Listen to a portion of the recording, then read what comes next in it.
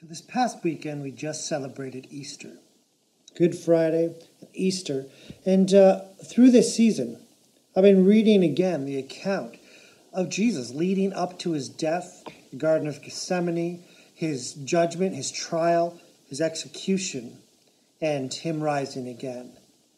But what I want to focus on today as a word of encouragement and just kind of a shot to the arm, hopefully, during this time is uh, I want to look at the Last Supper.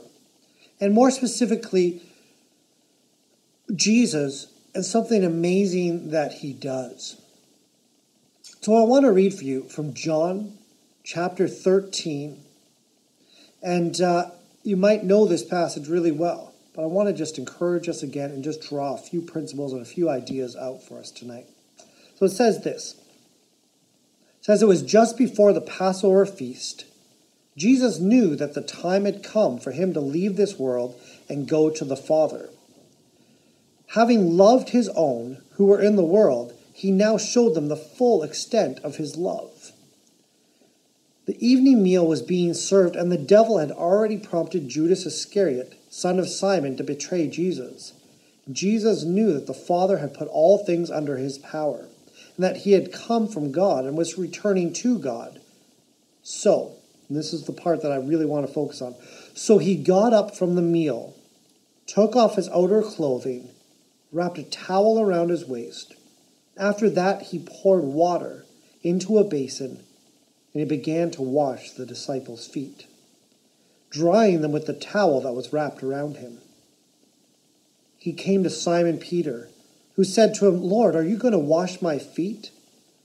Jesus replied, you do not realize now what I'm doing, but later you will understand. No, said Peter, you shall never wash my feet.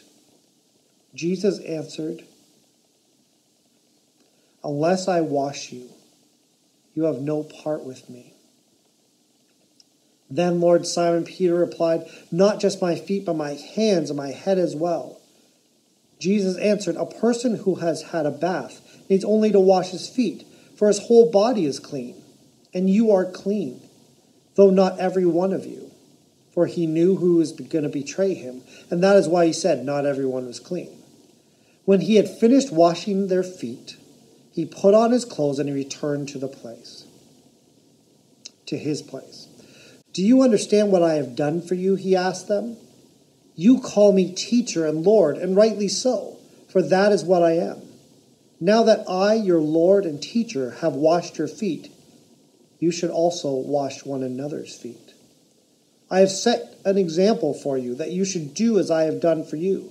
And I tell you the truth no servant is greater than his master, nor is a messenger greater than the one who sent him.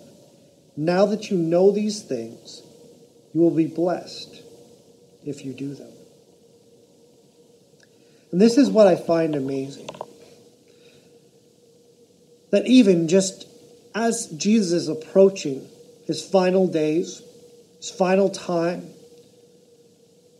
he knew full well the weight that he had to carry. Yet he set an example for the disciples then, and he sets an example for us as well, as believers and as disciples of Jesus Christ.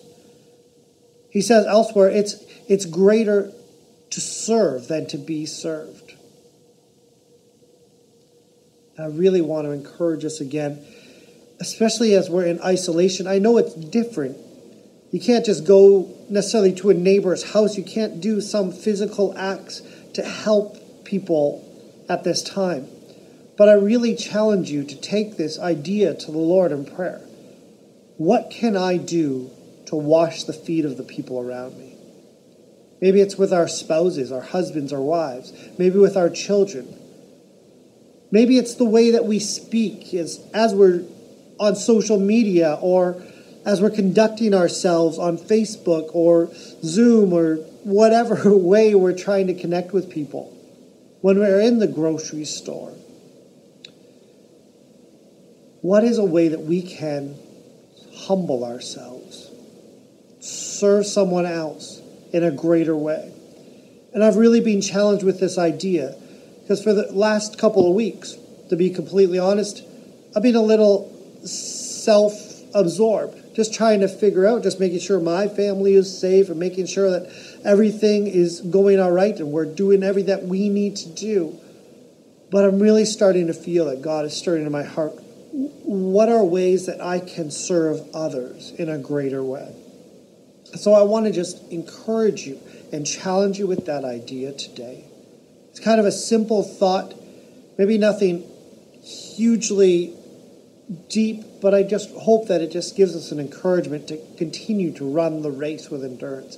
And during this time where it's easy to get discouraged or it's easy to uh, focus on what's not going right.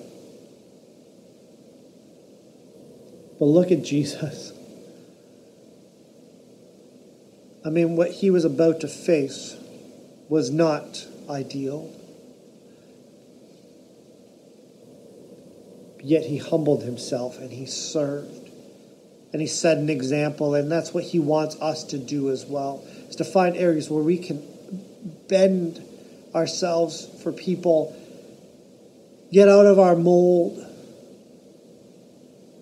He has all authority and all power.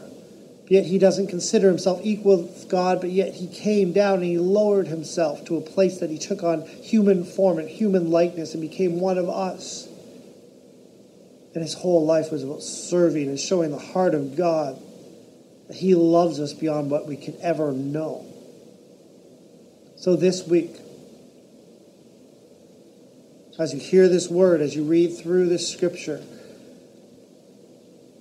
as you reflect upon what I just said, allow the Spirit of God to just bring a name, a situation, maybe, as I said, maybe a family member who uh, you can serve in an extraordinary way this week. Pray you're blessed. I miss getting together and seeing everybody face to face. But yet I'm so encouraged that we're able to do this and I'm able to just encourage you in maybe this small way this week. So be blessed. Take care.